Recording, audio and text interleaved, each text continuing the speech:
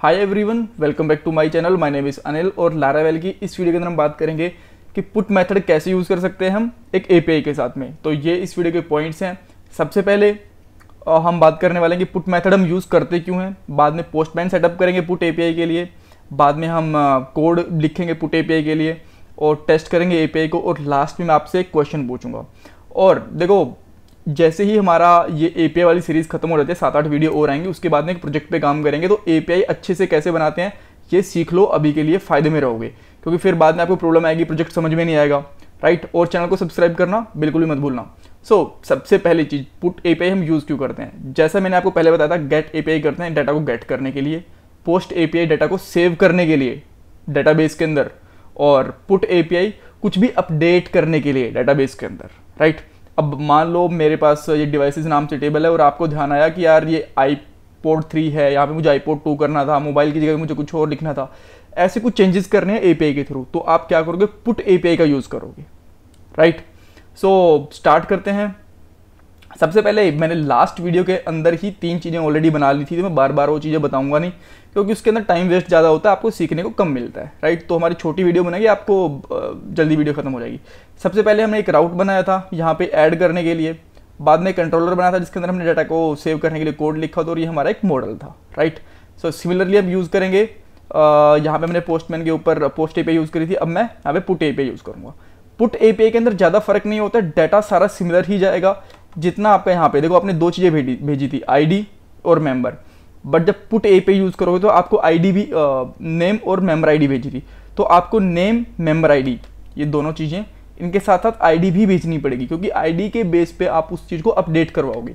नाम तो डुप्लीकेट हो सकते हैं मेंबर आईडी भी डुप्लीकेट हो सकती हैं तो एक जगह पे दो तीन चीज़ें अपडेट हो जाएँगी या हमें पता नहीं चलेगा कि कौन से हमें रिकॉर्ड को अपडेट करना है।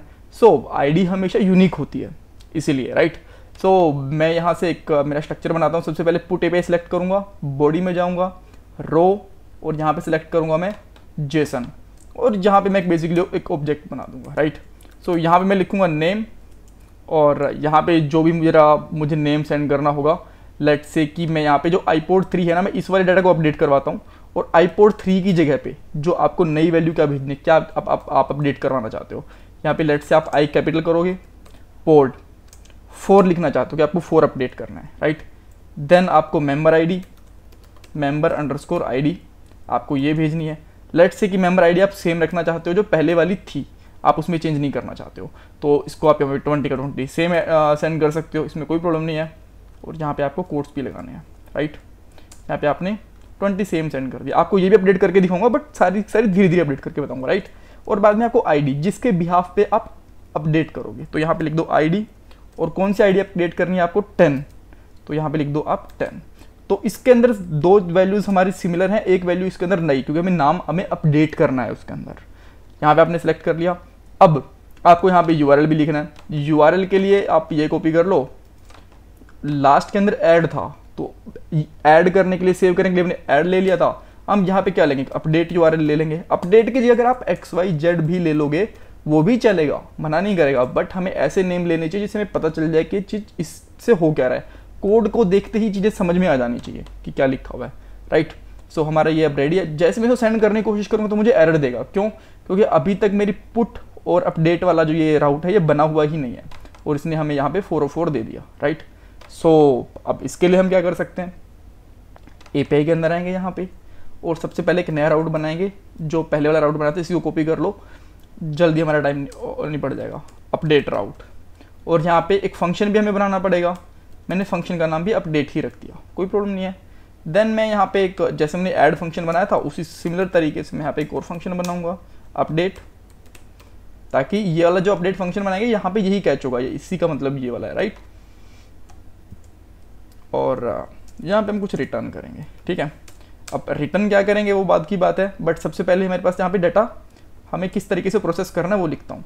रिक्वेस्ट वाला डाटा आएगा और किसके अंदर आएगा? आर ई क्यू के अंदर राइट सो सिमिलरली जैसे अपने यहाँ पे करा है, वैसा ही कुछ करना है आपको। सबसे पहले एक डॉलर डिवाइस एक वेरिएबल लेना है और जहाँ पे लिखना है डिवाइस कोलन कोलन फाइंड क्योंकि पहले हम सर्च करेंगे। Request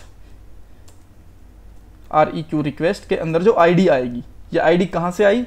ये आईडी आएगी यहाँ से, जो आपने थर्ड वाली आईडी भेजी है, ये वाली।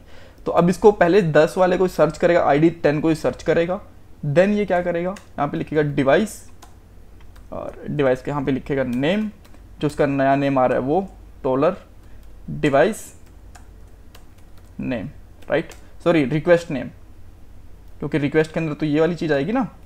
देन सिमिलरली हम यहाँ पे मेंबर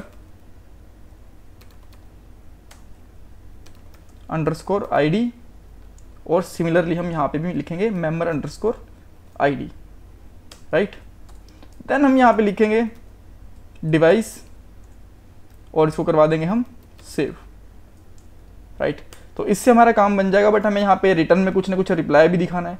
तो इसको मैं सिमिलर तरीके से लिखूँगा dollar result equal to this आप चाहो तो इसको कॉपी कर सकते हो, जो हमने लास्ट वाली वीडियो के अंदर कंडीशन बनाई थी फिर चाहो तो आप लिख भी सकते हो। तो मैं यहाँ पे लिख ही लेता हूँ। इफ़ डॉलर रिज़ल्ट अगर हमारा रिज़ल्ट आता है तो इसके अंदर क्या आएगा? रिटर्न करेंगे हम। रिटर्न में भी कोई ज़रूरी नहीं कि आप रिज़ल्ट ही लिखो। जो आपको ठीक लगे, वो लिख दो। रिज़ल्ट लिख दो वैल्यू लिख दो आउटपुट लिख दो राइट और इसके अंदर हम क्या लिख देंगे? यहाँ पे लिख दूँगा data has been updated right कोई प्रॉब्लम नहीं है। सेमिकोलन लगा देंगे लास्ट में। और लेट से कि इसके अंदर एक अब कुछ प्रॉब्लम आ गई, ये किसी वजह से चल नहीं पाया तो हम यहाँ पे क्या कर देंगे? एल्स यहाँ पे लिख देंगे ऑपरेशन फेल्ड या फिर update operation failed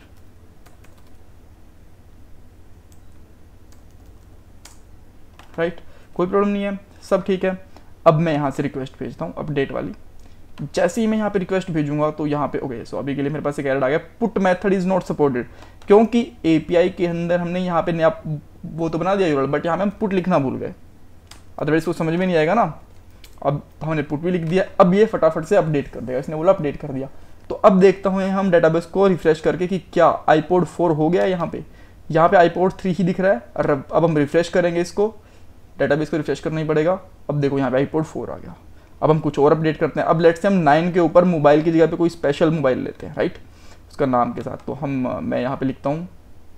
I D nine यानी कि नाइन वाली आईडी अपडेट होगी। मेंबर आईडी उसकी मैं अभी के लिए क्या है यहाँ पे? ट्वेल्व है। तो मेंबर आईडी इसकी कर देता हूँ मैं वन और यहाँ पे लिख देता हूँ सैमसंग मोबाइल राइट इसको हम अपडेट करेंगे। जैसे भी यहाँ पे अपडेट करूँगा, ये अपडेट हो गया। अब मैं यहाँ पे आकर रिफ्रेश करूँगा। एंड यहाँ पे आप देखिए नाइन सैमसंग मोबाइल इसकी आईडी अपडेट हो गई दैट्स ग्रेट तो इस तरीके से हमारी पोस्ट एपीआई भी बन गई। अगले वाली वीडियो के अंदर हम देखने वाले डिलीट एपीआई फिर सर्च एपीआई फिर ऑथेंटिकेशन कैसे लगा सकते हैं जे डब्ल्यू टी वगैरह सेंटम्स वगैरह बहुत सारे एपीआई के सारे ट्यूटोरियल देखेंगे। चैनल को सब्सक्राइब करना बिल्कुल मत भूलना राइट सो so, अब बात आती है क्वेश्चन की। सो so, मेरा क्वेश्चन इसके अंदर ये है कि क्या हमने पुट मेथड यूज़ करा है एपीआई के लिए डाटा को अपडेट करने के लिए? क्या मैं पोस्ट के अंदर अपडेट नहीं कर सकता? आपको मुझे ये बताना है कमेंट बॉक्स के अंदर लिख के। क्योंकि देखो टेक्निकली सोचा जाए तो मैंने जो पोस्ट लिखा था, उसके अंदर भी कुछ डाटा सेंड करा और पुट के अंदर भी कुछ डाटा सेंड करा तो मैंने पुट ही क्यों यूज़ करा? पोस्ट यूज़ क्यों नहीं करा?